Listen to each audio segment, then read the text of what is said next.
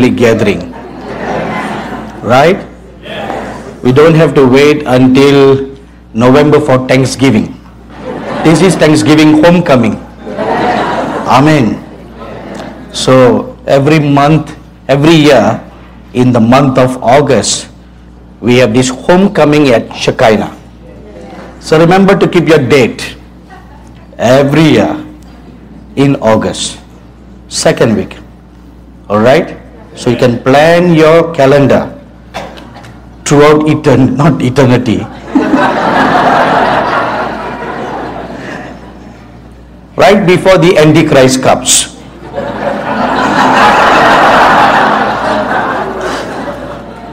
then we won't meet here. We, we will be meeting in caves, in jungles, somewhere far out in somewhere.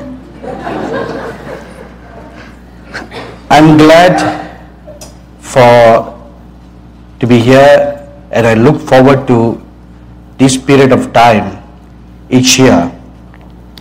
Although throughout the year there are many conferences that we go to in many places around the world and uh, in many conferences that we personally organize but this is one conference where we actually where I actually look forward to one reason is to meet all the family and another reason to meet with our fellow ministers like Brother Neville and our dear Pastor Sweet, who's very sweet.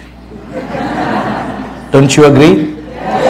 In fact, too sweet, if not three sweet.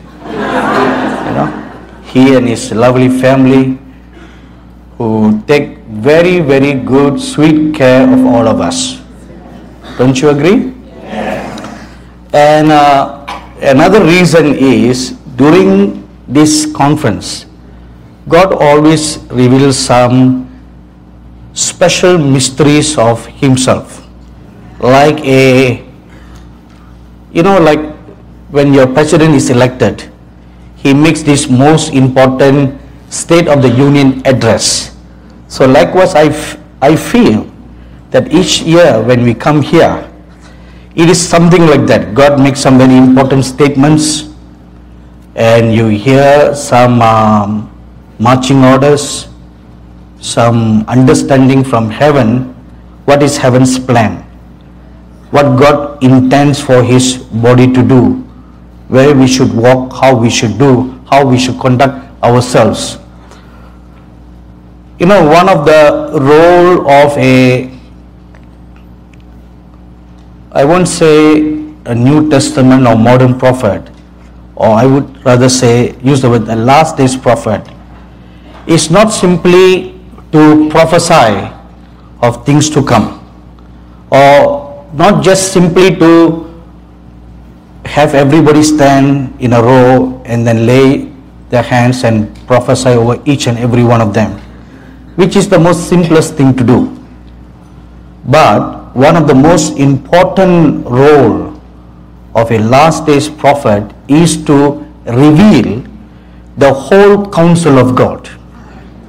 What is God intending at this period of time? What are the plans of God? The future plans. You know, if you read the Holy Bible, especially the prophetical books from Isaiah right up to Malachi, there is a two-pronged approach of prophecy. One is that which pertains to the nation of Israel, and another is to the events of the last days. Every one of those books, Isaiah right up to Malachi, and especially the books of Daniel right up to Malachi, they are all pointing towards the end times. And they speak of our days. There's always a two prong approach. So, certain things that are veiled in the prophecies, like for example, if you read the book of Daniel, the many, many visions and prophecies that he received, he was told, seal them up. When, when the prophet Daniel saw, he understood.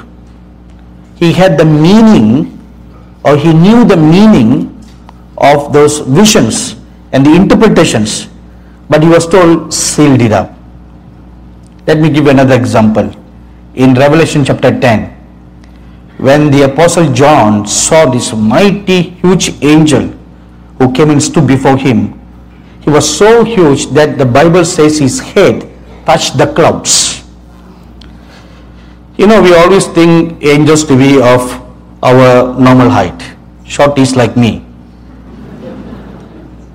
You know, you may have seen uh, two difference in this conference. Sometimes this pulpit is down there, sometimes it's up here. Whenever it moves up here, it is meant for shorties.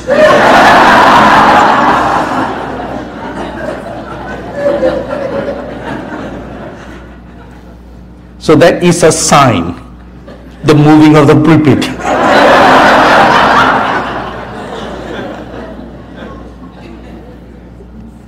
You know, when that angel who stood so huge, whose head touched the clouds, when John stood beside the angel, he appeared as an ant, that small. And there are many more angels who are much taller than that. And when this angel of Revelation 10 stands beside those angels, he looks like a small ant. Then can you imagine what great things there are in heaven? You know, that's why the Apostle Paul writes, Our eyes have not seen, our ears have not heard, neither has it entered into our mind what great things God has prepared for his people. Just two days ago, I was meditating the scriptures one morning. If you will turn your Bible with me to the book of Second Corinthians, chapter 4.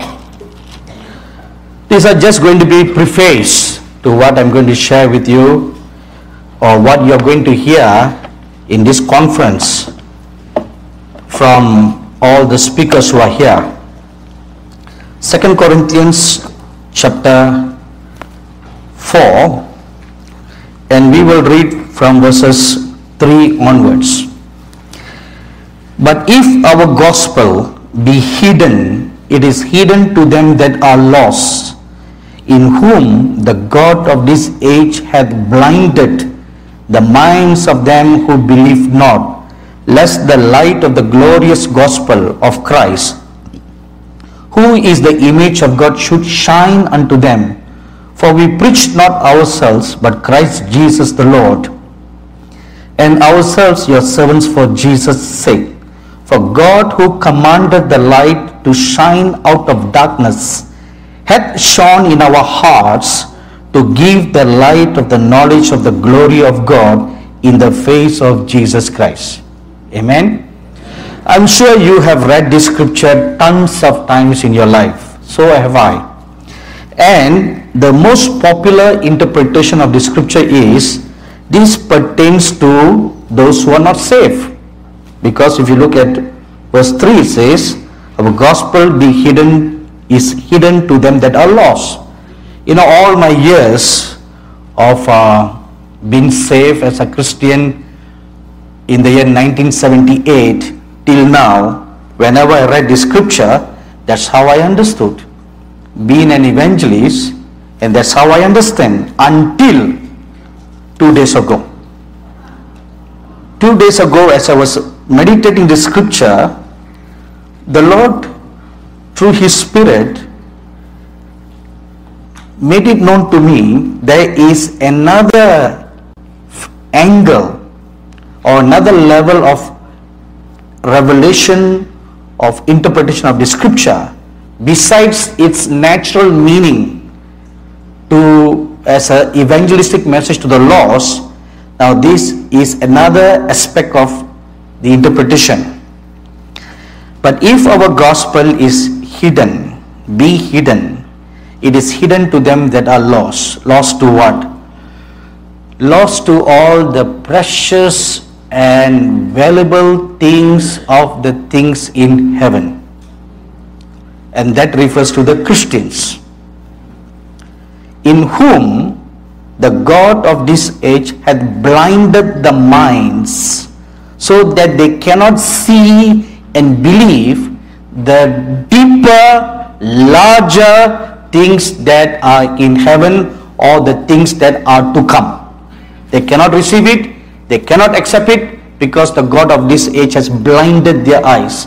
That is why the established church or the learned theologians or the learned ministers or the learned believers oppose that this kind of uh, new things they are not new they are age old they are as old as the bible is. They are opposing it saying it's not of the bible or it is unscriptural or it is unbiblical. Why do they say that? Because the god of this age has blinded their eyes from seeing beyond from beyond what is normal for example, when the Lord Jesus Christ walked this earth, He brought a new understanding to what has already been established for the last 3,000 years or 4,000 years.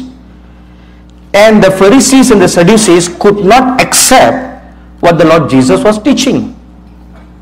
He said, You have been told an eye for an eye, a tooth for a tooth. That's what you have heard, that's what you've been told from the law of Moses. But I say unto you, if anybody slaps you on your right cheek, turn your left. Could they receive it? They could not.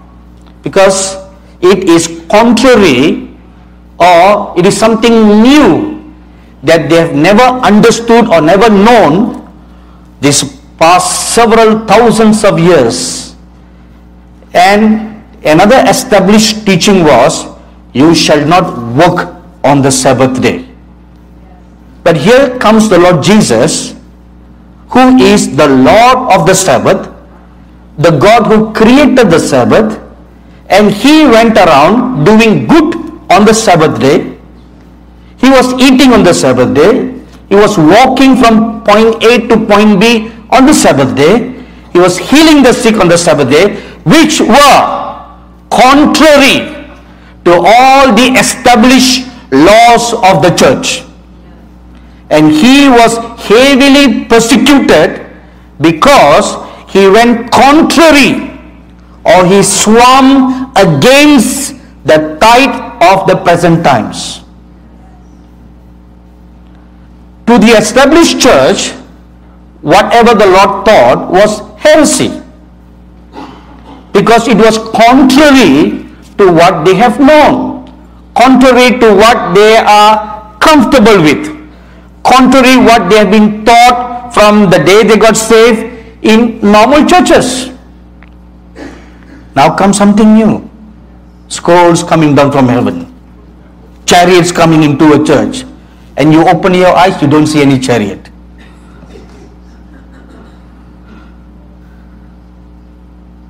You know, this, this uh, afternoon, when uh, our dear brother Dr. Bruce was sharing his message, I was waiting on God and preparing my message for this evening. And I just felt inspired or a thought came to my mind to log on to the website to see uh, what he was going to share. And I happened to log on just two minutes before he said, I saw the Saint Zechariah in our midst, just two minutes before that. And uh, when he asked everybody to stand up to receive that blessing of the anointing, I knelt down in my room. Because though we are far away, God is still near to bless us. Right? So I, I didn't want to miss what God's messenger has come. And as I knelt down,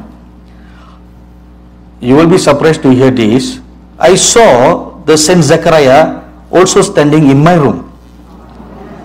He stood in my room as much as he was here in the church when Dr. Bruce was sharing. And he laid two scrolls on my table. He said, Receive this. This is part of the message that you are going to share at this conference. And then he began to pray, he began to prophesy, and the things, some of the things that the Saint Zechariah told me were the words that were coming out of his lips when he was prophesying. Now, these kind of things are unheard of in the normal established church. Do you all agree? Yes. So, will that make established people uncomfortable? To make to suddenly make you feel there's a ghost here. you know, if they can call the Lord Jesus a ghost, he came walking on the water, and all the disciples looked and said, That's a ghost. Right? If they can call the Lord a ghost, they can certainly call you and me as a ghost. My dearly beloved brothers and sisters, let me emphasize one more time again. Our eyes have not seen, our ears have not heard what God has prepared for these last days. You know, sometimes when we are persecuted like this, we are very hesitant to talk any further. Let's, some years ago, Neville and I decided, let's zip it up. Some many years ago, we decided, enough of all this. Let's just zip it up. You know, whatever blessings or heritage we are receiving from the Lord, let it be just within our confines. When we meet one another, we share, we discuss, and that's it. Let's not talk about this anymore. White throw pearls, you know. And and then we were together at uh, in Alabama for a conference. In that conference, an angel of the Lord came towards me and said, Don't hold back whatever God has shown. So I, I Neville was standing beside me and I poked him. I said, You know, this angel just came up to me and said this. He looked at me with an ashen look on his face. Said, You too heard that?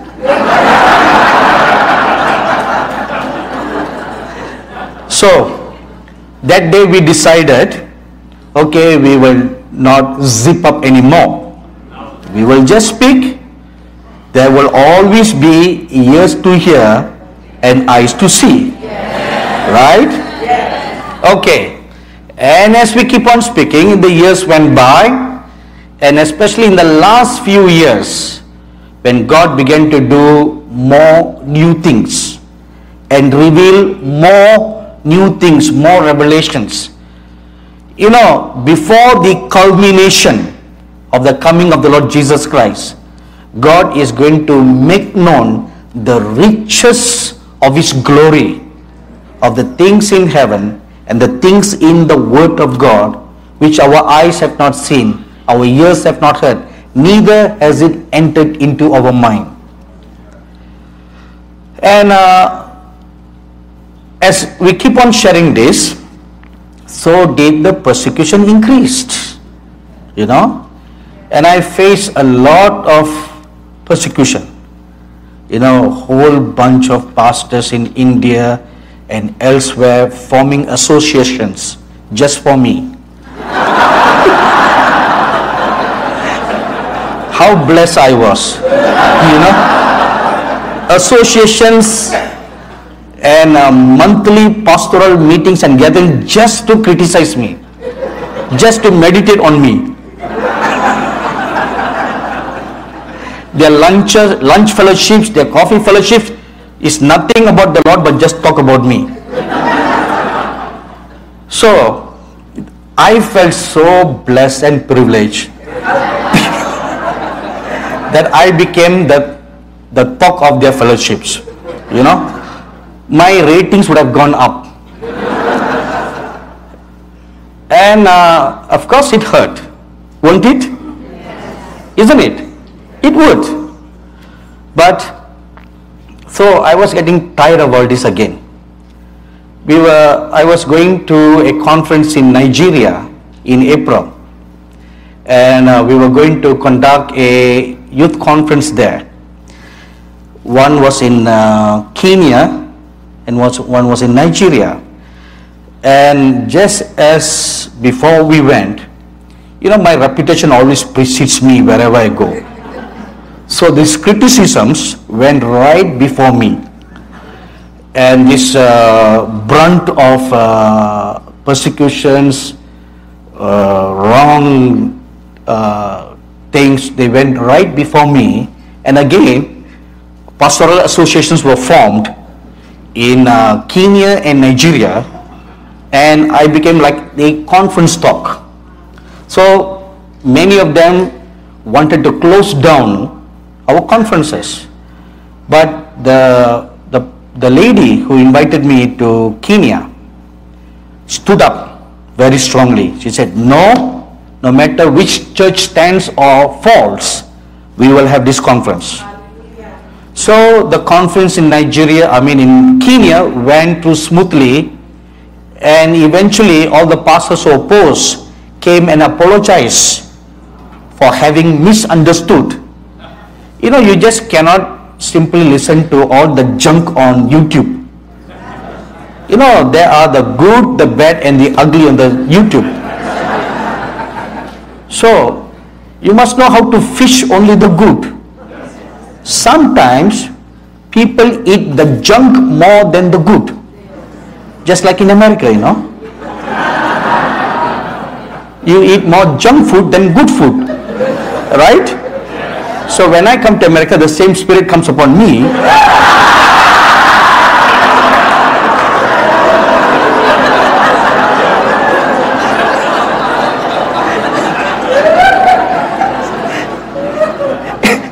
and I end up eating hamburgers every day.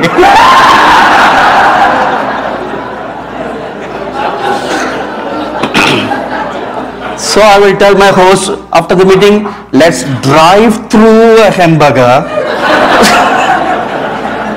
let's pick up a hamburger and some fries. What good is a hamburger without fries, right?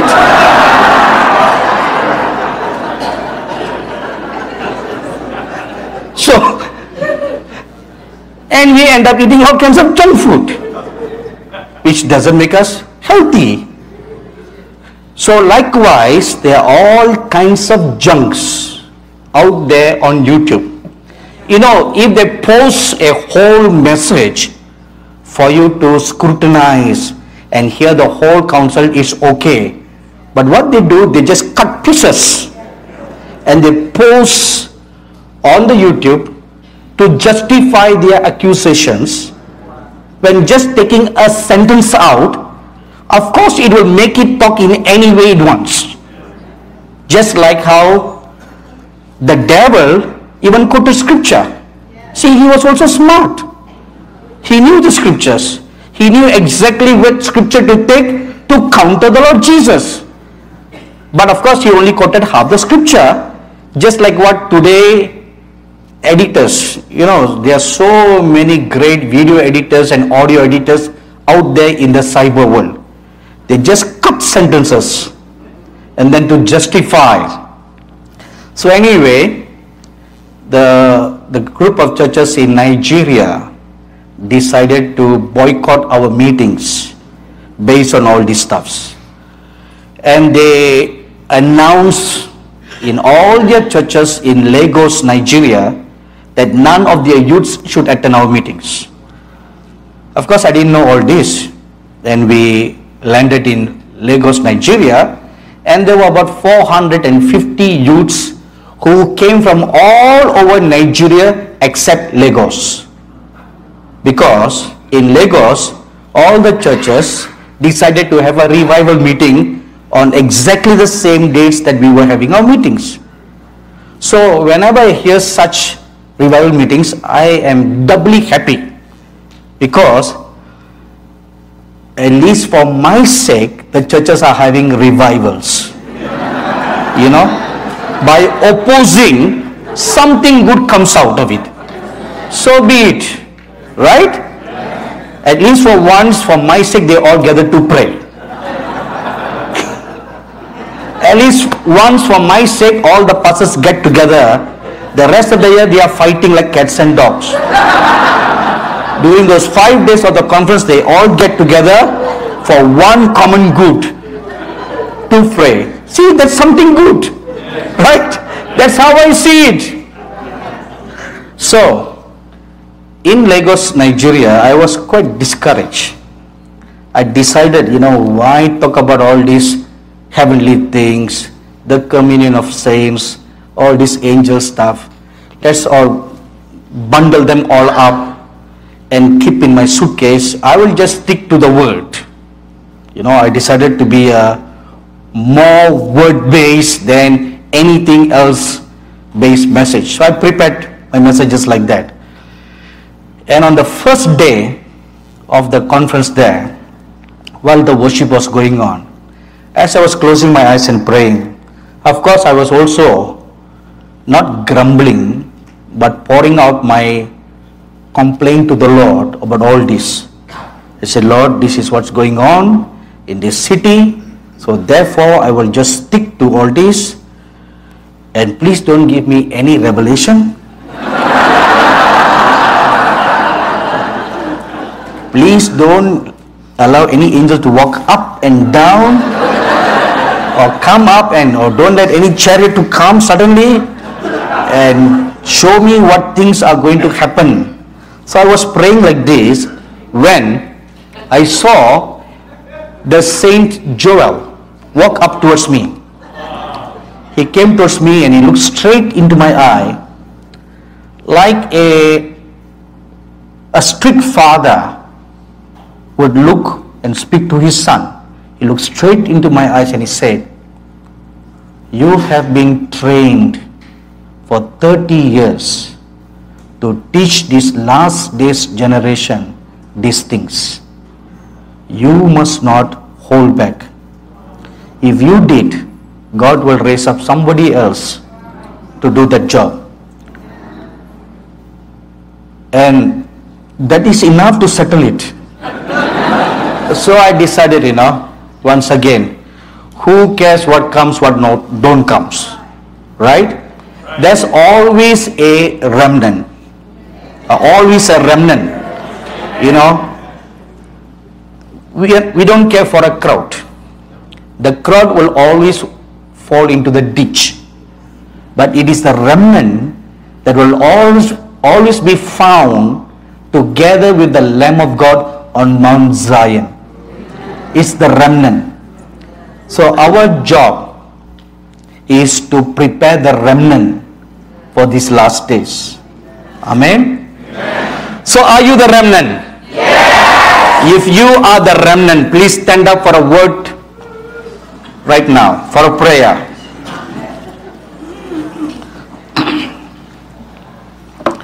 Our gracious and loving Heavenly Father, we come before your holy presence in the name of our dear Lord Jesus Christ this evening. Thank you, Holy Father, for gathering all your dear children from far and near into this wonderful church this evening. And also to those who are afar away, who are watching this program this conference through the live telecasts through web streaming. Thank you, Father, for calling those who are yours to be by your side, to be taught by you, and to be prepared by your Spirit, to be made known the deep mysteries of the ages to come. You told your disciples when they question you, why do you speak in parables? And you said, To them, I speak in parables, but to you, the remnant group, the chosen group, the called group, to you I make known the mysteries of the kingdom. And I thank you, Holy Father, as we lift up our holy hands unto you, to give you thanks for such a time as this, where we can gather under your eternal wings, to be prepared by your fires for these last days, to be adorned with a heavenly garment, like how the bride is adorned to meet her bridegroom, to be made battle ready, like how it is prophesied in the book of Joel, chapter 2 the last days army of God who has been prepared, forged in the fires of the Holy Spirit, battle ready for the last days. Thank you, Holy Father, for gathering your remnant together under your or in your nest. We now ask you, as the mother eagle and the father eagle brings pieces of flesh to feed the little eaglets, we now ask you to come and feed us.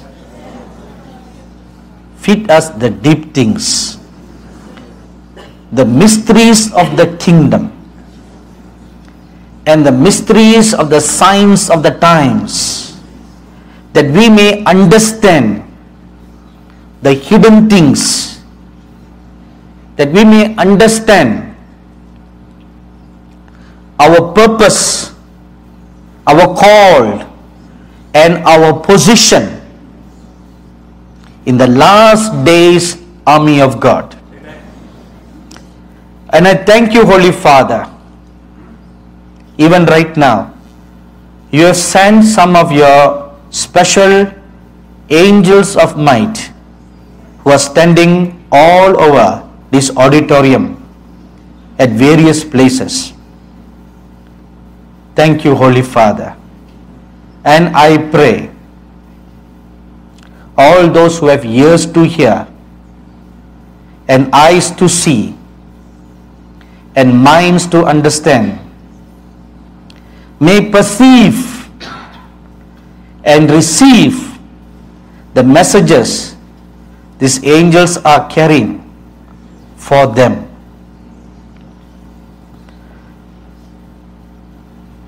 As I'm speak, praying this prayer, I perceive in my spirit right now these mighty angels.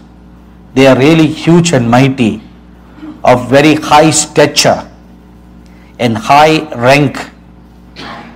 High stature not just in height, but high stature in their position and rank in heaven. They have come bearing messages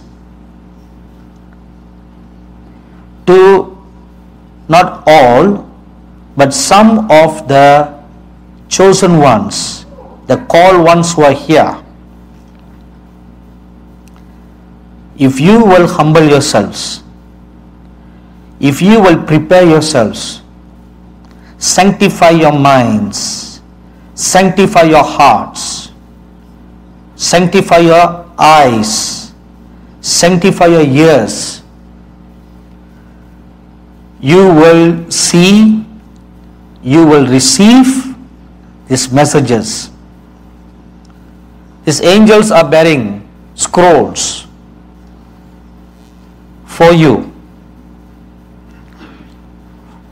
for you to take the next step, which may be a giant leap of faith for you. Thank you, wonderful Lord Jesus. I see more clearly these mighty ones in our midst. They are really dressed in battle ready garments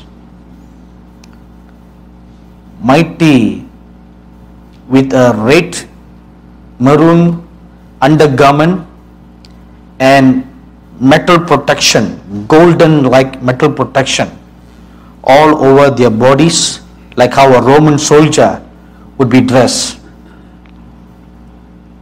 And I made to understand concerning this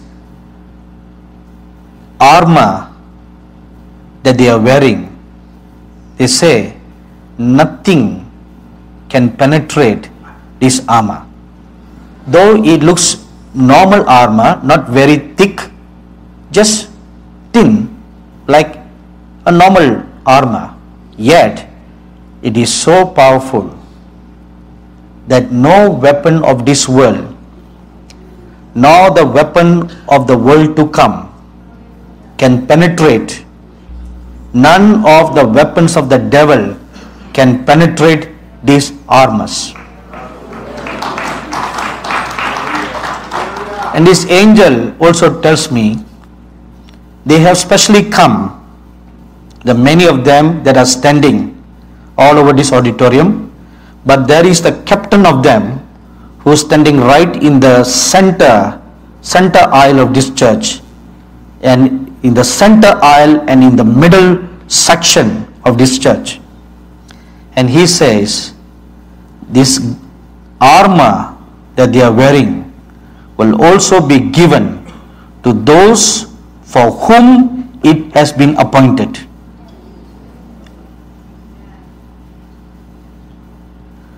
Especially to those who are in the front line of the ministry, front line of doing works for God.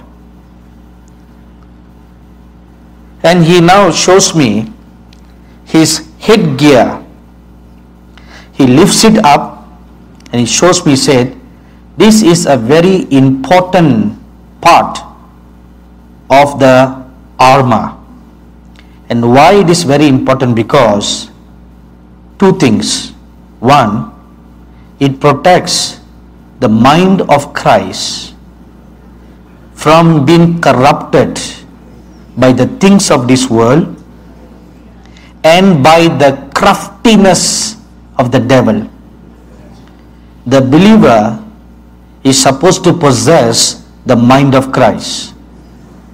But when the mind is not protected or covered, it will, the darts of the devil can penetrate into your mind, corrupting it and duplicating it to manifest like the mind of Christ. Just like how the craftiness of the devil beguiled Eve to say, twisting the words of God when he said, When you eat the fruit, you shall surely die. He twisted the fruit, the word to say, You shall not surely die. Such twisting and corruption will take place in your mind. Humble yourselves like a little child. Have the mind as innocent like a little child that will be quick to believe the things of the Spirit.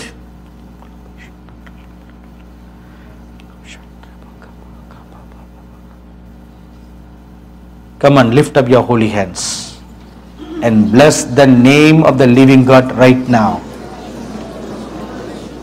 Thank you, wonderful God.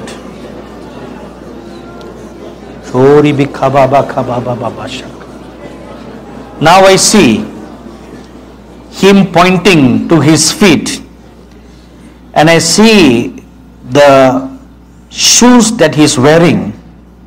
It is dark silvery but very strong, very robust, like a military soldier's thick boots.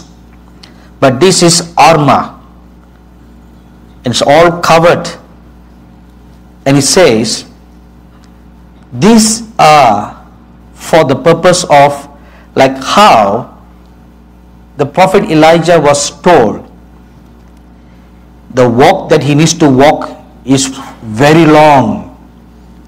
And he walked for 40 days and 40 nights in the strength of the angel's foot. Likewise, you need to be adorned with this foot because your walk in this world in these last days should not be corrupted by the devil, by the ways of the world,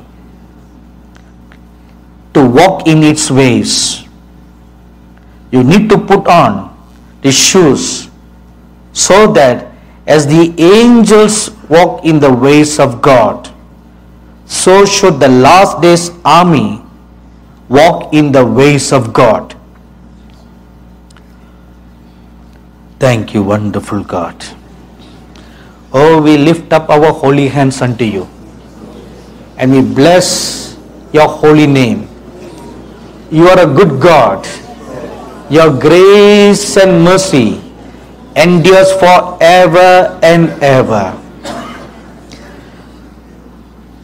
I love you, Lord, and I lift my voice to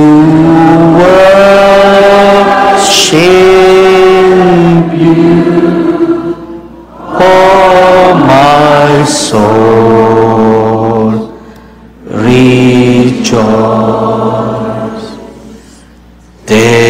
joy, my King, in what you hear.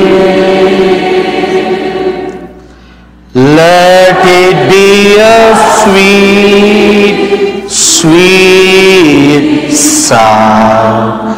Let it be a sweet, sweet Let it be a sweet, sweet sound in your